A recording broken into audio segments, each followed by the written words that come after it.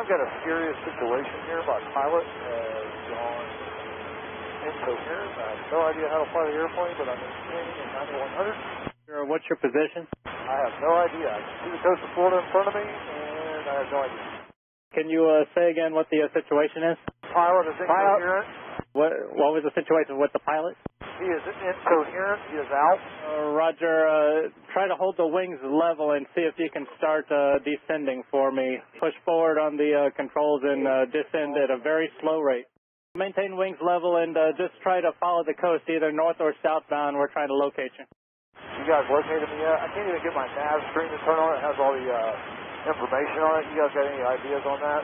Palm Beach is uh, uh he's uh instructed me that you're uh, about 20 miles east of Boca Raton. Just continue northbound over the beach, and we'll try to uh, get you some more further instructions. Continue maintain 5,000 northbound over the beach. So I've got the coast in my headlights. I'm at 7280. Do I need to get lower?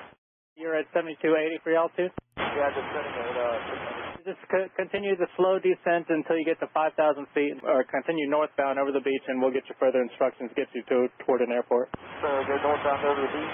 Do you have a cell phone with you? Yes, we do. Give me the phone number, and we're going to try to get you some, get you in contact with somebody that can help you. I have no idea how to stop the airplane. I don't know how to do it.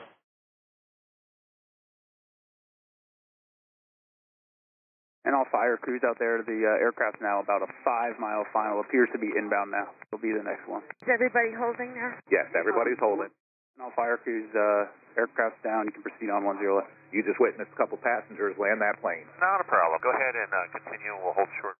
Man, they did a great job. Did you say the passengers landed the airplane? That's correct. Oh my gosh. Yeah, No. no, great job. No flying experience. We got a controller that worked them down. That's the flight instructor.